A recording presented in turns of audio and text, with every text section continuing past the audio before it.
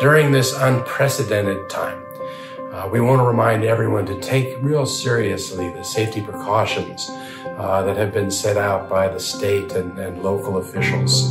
It's the responsibility of every Austinite to, to stay home and to, and to work safe.